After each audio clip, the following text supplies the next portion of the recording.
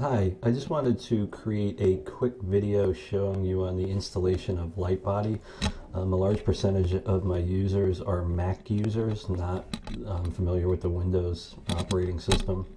Um, again, they're trying to run this on uh, Windows tablet or a PC or a laptop running Windows 7, 8, or 8.1. So Initially, after the download, you have the Lightbody binary or application. You simply double click on it. Up comes the installer. You will click next. You agree to the license agreement and everything therein. Next. It's ready to start the installation. Installation continues, is now done. You have the option of running Lightbody um, through via the icons are right here when the installer is finished. Click on finish and Lightbody comes up. Very, very simple and straightforward.